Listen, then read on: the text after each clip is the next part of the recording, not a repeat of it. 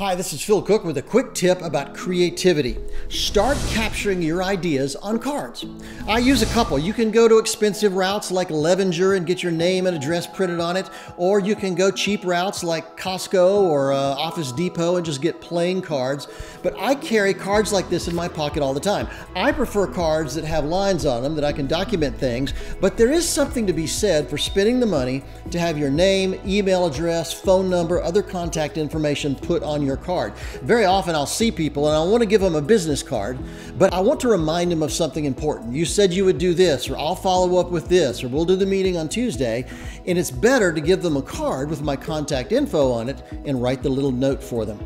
But generally, when it comes to ideas, you never know when they're going to hit. So I always have a stack of little cards that I carry around in my pocket. I'm not going to keep them forever. I'm just going to transfer them to the computer later or my notebook later, but they're a great way for capturing creativity on the run.